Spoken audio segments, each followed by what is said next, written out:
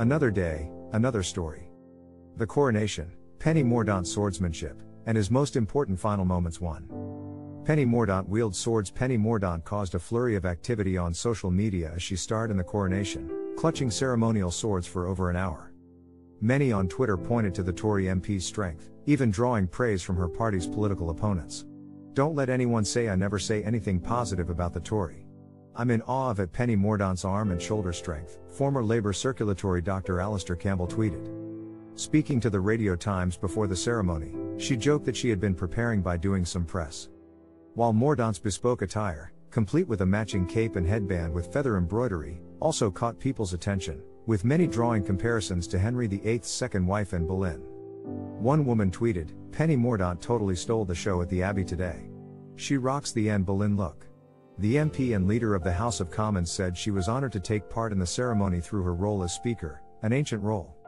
She carried the 17th century sword of state made for Charles II to Westminster Abbey, exchanging it for the jeweled sword of presentation, which she handed to the Archbishop.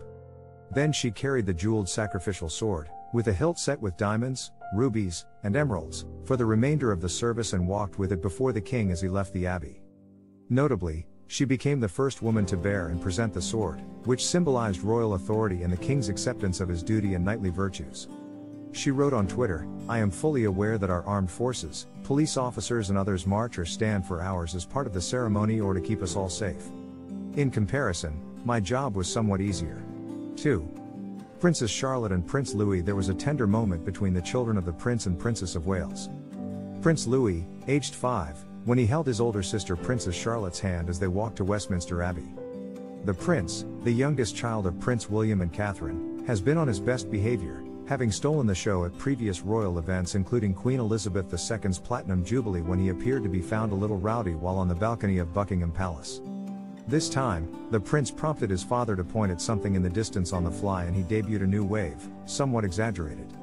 3.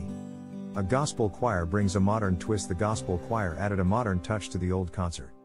The Ascension Choir was carefully selected and assembled especially for the occasion. Dressed all in white, the group of singers sang beautifully and swayed as they performed a specially composed piece Alleluia.